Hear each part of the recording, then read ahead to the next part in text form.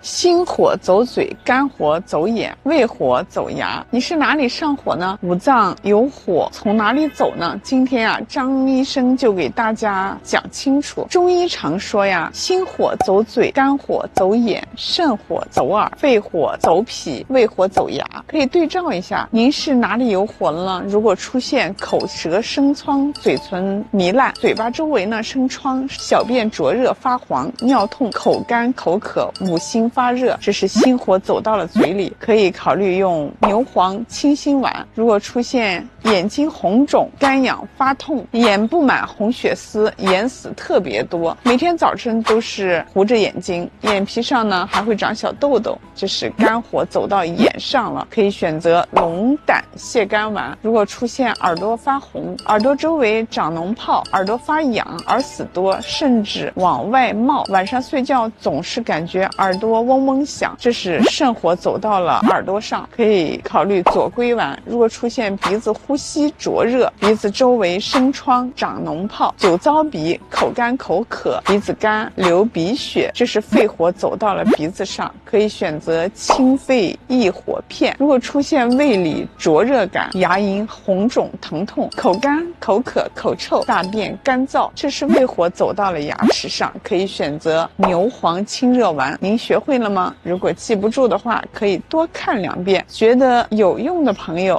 可以点赞、转发给身边的亲朋好友，让更多的人受益。腿凉在肝，腰冷在肾，肚子凉要补脾，三个中成药。平肝补肾，暖脾胃。很多人经常感觉自己的腰凉、腿冷、肚子凉，这是怎么回事呢？中医认为呀，腿冷在肝，腰冷在肾，肚子凉要补脾。第一，腿冷在肝，那肝主筋，其为筋之府。如果肝经有寒，凝滞经脉，腿脚上经络得不到气血的温煦，就会引起腿脚发冷等症状。有的人甚至大腿根部都是凉的，还有的人呀。常年头痛，这些都是跟肝经受寒脱不了关系。这时候呢，就需要暖肝散寒为主，可以参考暖肝煎加减。有的人呢，可能还会因为肝气郁结，导致阳气郁结在体内无法下行，不能温煦到腿和脚，也会引起腿发凉，有一点风都受不了。一年四季中呀，暖不热。这种情况就可以参考柴胡疏肝丸，疏肝解郁，使肝气调达，肝经通畅，气血顺利下达到腿和脚，腿和脚凉的症状就可以得到改善。第二，腰凉在肾。中医讲腰为肾之府，如果肾阳不足，腰自然也会冰凉冰凉的，总感觉后背发冷发酸，呼吸冒凉气，夜尿也多，小便频。这个时候可以参考桂附地黄丸，温阳补肾。第四呀，肚子凉要补脾，脾为后天之本。气血生化之源，属于中焦，主少府。如果脾虚的话，气血生成不足，肚子摸起来就会冰凉冰凉的，并且特别怕冷，吃生冷寒凉的东西啊，一吃就会肚子痛、拉肚子，容易胃胀、腹胀、消化不良，脸色呢看起来也是。枯黄发白的，没有一点血色。这个时候呀，可以选择附子理中丸，温中健脾。如果您不仅肚子凉，还肚子痛，可以改用小建中颗粒，温中补虚，缓积止痛。如果您记不住，可以多看两遍。觉得有用的朋友呢，可以给我点个小红心，我就是您的医生朋友。大家好，我是广州公立三甲医院脾胃科中医张春红。为什么说健脾前一定要先祛湿呢？祛湿要先生阳呢？接下来呀，就和大家仔细的讲讲，并分享一个中成药，能够补阳、祛湿、健脾三管。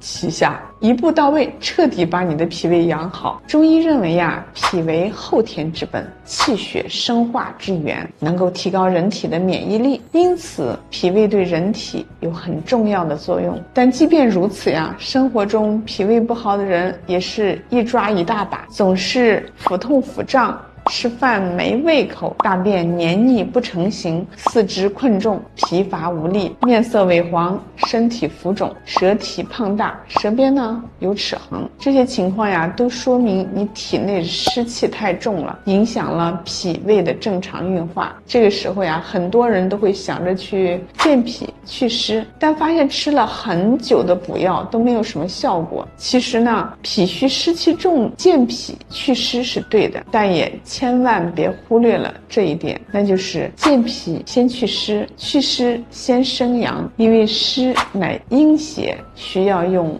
温阳的药物去化掉。就好像是下雨之后，地上的小坑里会存留一些雨水，这个时候只有太阳才能很快的把积水给晒干。而阳气不足的情况下，这类人呢，总是感觉到手脚冰凉，尿频尿急，口干口渴，这就说明了体内的阳气气太弱，不能够蒸腾水液。要想同时解决健脾祛湿、生阳的问题，大家不妨试试这个中成药五苓散。五苓散由猪苓、茯苓、白术、泽泻。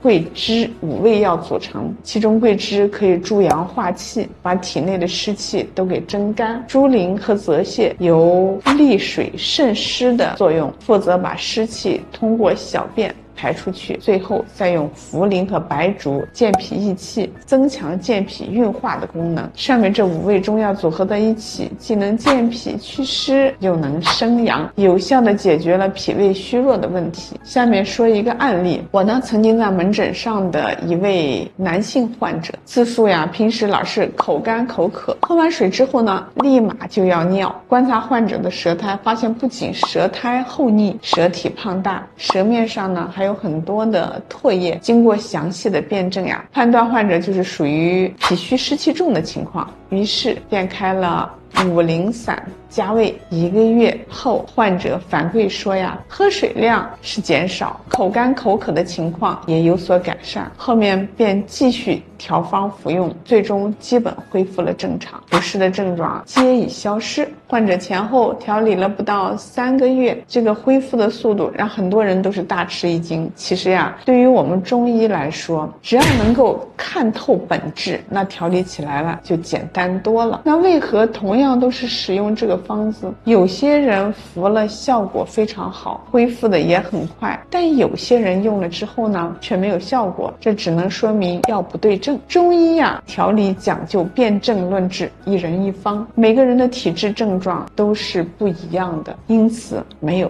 通用的方子都是需要根据实际情况来加减，针对性的调理。您学会了吗？如果记不住的话，就可以多看两遍。觉得有用的朋友呢，可以给我点个小红心，我就是您的医生朋友了。